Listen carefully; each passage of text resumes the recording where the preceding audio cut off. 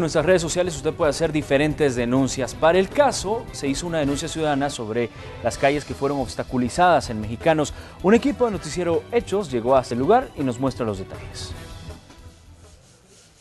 Con cadenas y barriles, así bloquearon habitantes desde hace dos meses la 63, 65, 67 y 69 avenida, en la colonia San Mauricio de Mexicanos, a la altura de la calle Sacamil. Las quejas de los automovilistas son constantes, porque servía de ruta alterna para evitar todo el tráfico vehicular del Boulevard Constitución en horas pico.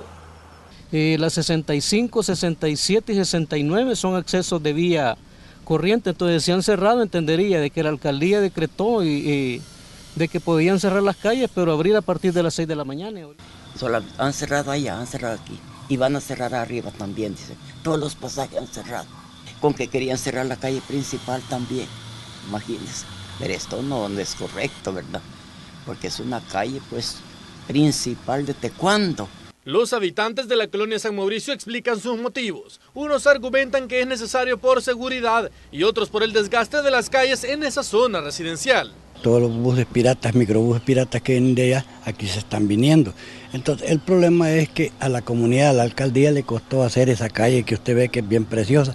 Al principio en la casa de esquina ya se está hundiendo. Enfrente del kinder balearon a un señor y le quitaron la camioneta. Más abajito mataron a otro. Allá en la esquina mataron al otro. Y así sucesivamente han habido como cuatro muertos. Habitantes dicen que la alcaldía municipal está consciente y les brindó el permiso para cerrar esas avenidas. Al llegar a la zona hasta las 8 de la mañana, solo una de las cadenas fue retirada para que los mismos residentes pudieran sacar sus vehículos hacia la calle Sacamil. Con imágenes de Manuel Velázquez, este es un reporte de Néstor.